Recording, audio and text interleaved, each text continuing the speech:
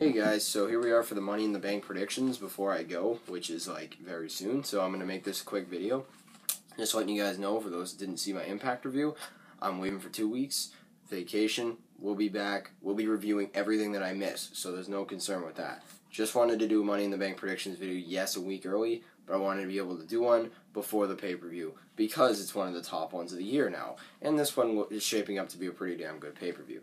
So we started off with the pre show the Shield take on the Usos for the tag belts, or the Shield defend their belts against the Usos. I'm surprised the Shield have been moved to pre-show. I'm a little bit concerned for the Shield because things seem a little less important with them.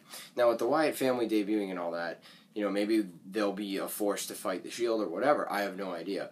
Either way, I think the Shield will defend their, will retain their belts over the Usos. I don't think the Usos are just going to win the tag straps after not even really being featured that much for ever, and then all of a sudden really starting to get somewhat of a push. I like the push. I think they're giving them the chance, the spot, but um, they can't believe in them that much if it's in the pre-show. Just saying, uh, the Shield are going to retain. Should be an alright match though. So we got Kaitlyn versus AJ Lee for the Divas belt. I think AJ Lee is going to retain here.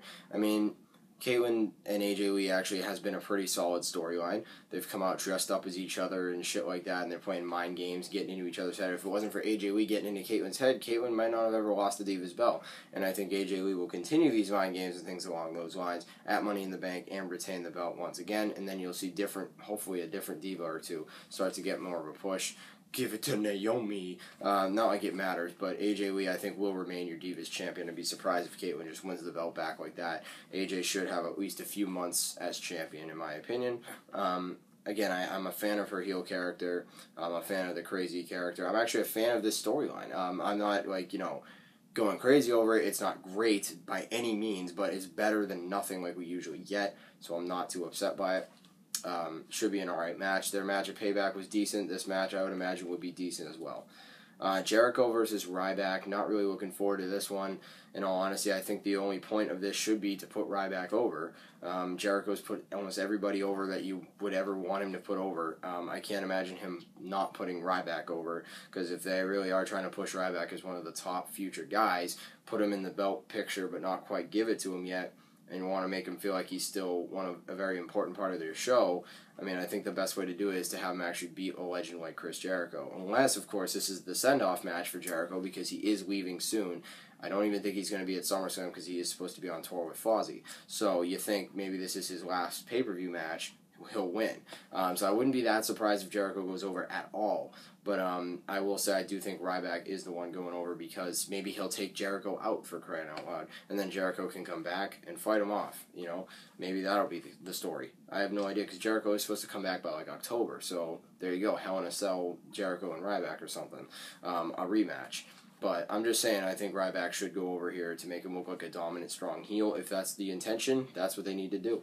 Uh, should be an alright match. I think Jericho will carry the whole damn thing, and it won't go that long. But uh, again, another feud I'm not a fan of for Jericho. I feel bad for the guy, but he's he's put up with it all. So, uh, IC title is Miz and Curtis Axel. Um, Axel will retain here, if you ask me. I don't think. Um, Miz is kind of stuck in that mid card help spot right now. You can definitely tell.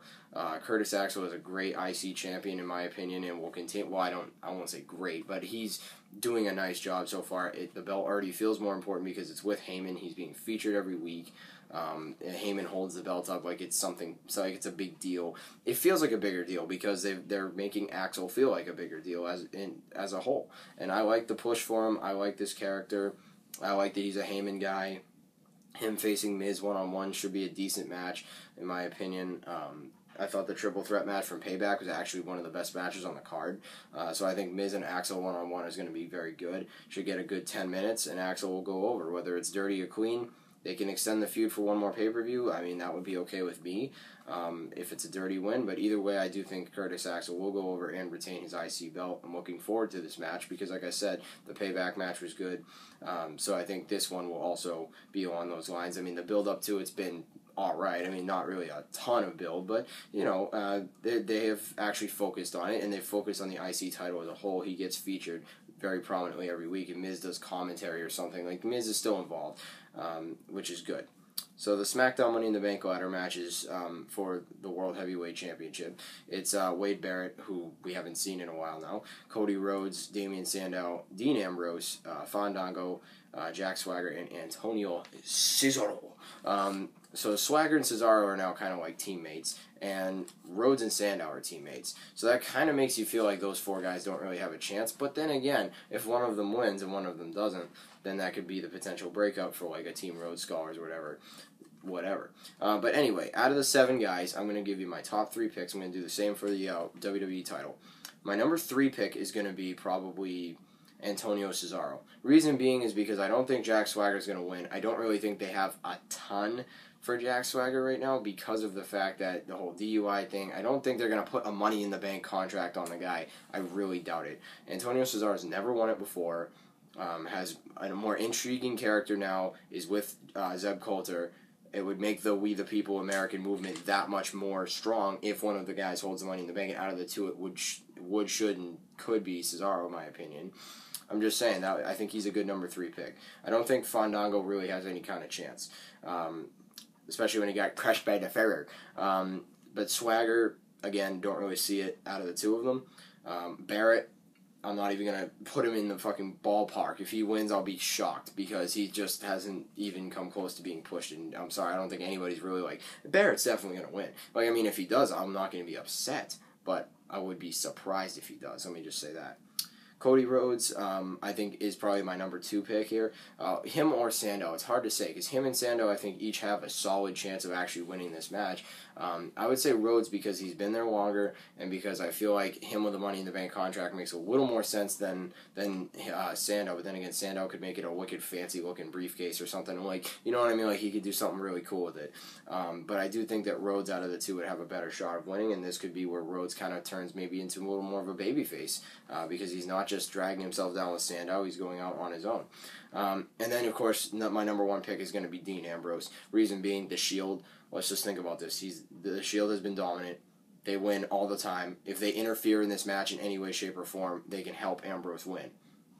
I mean, I feel like the reason, uh, another reason they put the Shield versus the Usos for the tag belts in the pre-show is to to show you how much how important this is because Ambrose wins a Money in the Bank contract and now has a shot at a world title. Um, he's clearly the leading guy because he's in the Money in the Bank ladder match first of all, and he has the singles belt. So let's be honest here, they've already pushed the guy pretty well why wouldn't they just finish off the push by giving him the Money in the Bank briefcase and then him eventually winning the W I mean the World Heavyweight Championship at some point from a face Dolph Ziggler or something. Um, I'm just saying I do think that Ambrose is my number one choice for that one. It should be a very good match in my opinion. Uh, the next one is the World Heavyweight Championship match, which is Dolph Ziggler versus Alberto Del Rio rematch from Payback. I think that Dolph Ziggler will regain the World Heavyweight Championship mainly because I think that Del Rio's run is just going to be a short one. It was the double switch. Now Dolph Ziggler is going to get over as the face. It's either going to be here or it's going to be at SummerSlam. That I'm not sure about yet. But either here or SummerSlam, he will win, in my opinion, because uh, I think it's really just set up that way so that Ziggler comes back as the babyface and wins it. Uh, yep. Um, but yeah, anyway, so I think that Ziggler will end up going over. Um, here tonight. I, I, think that, that Money in the Bank will be his time to go over.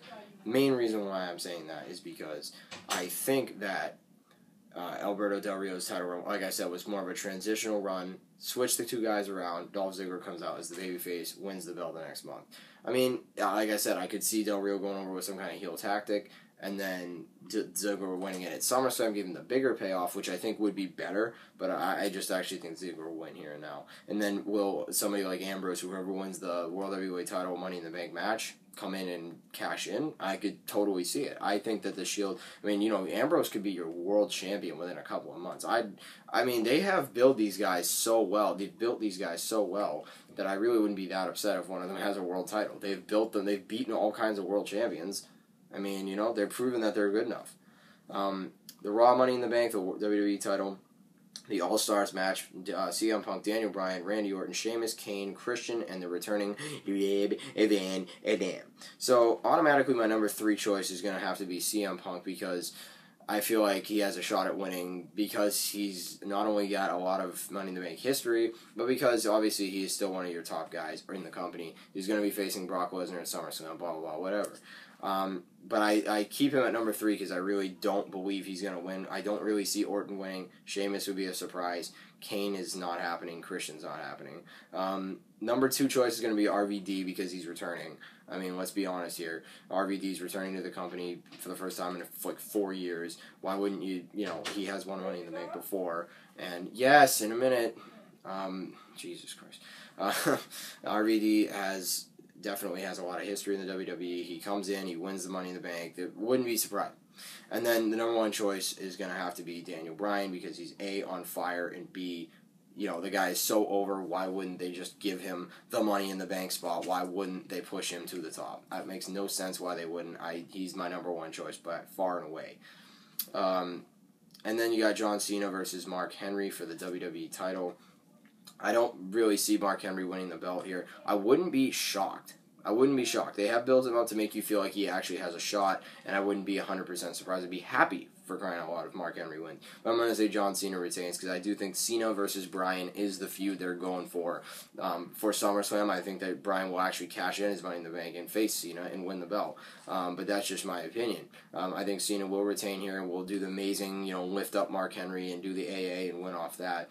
Uh, will be a great match? I don't think so. I think it'll be a decent match. I think it'll tell a good story, and this might be Mark Henry's final match. I don't know. It could be one of his very last matches. They teased the retirement, but let's not let's not lie here. The retirement is coming soon. Um, but anyway, that's going to do it for these predictions. I got to get going. Um, so I will talk to you guys in a couple of weeks. Um, I will do Money in the Bank review, Raw reviews, recaps, and all that stuff. Don't even worry about it. I will have all that stuff. So, plenty of videos when I come back. Thanks as always for watching. Be sure to like, comment, and subscribe. Uh, I appreciate all the viewership over this time, and um, I'll be back in a couple weeks. So, uh, peace out, guys.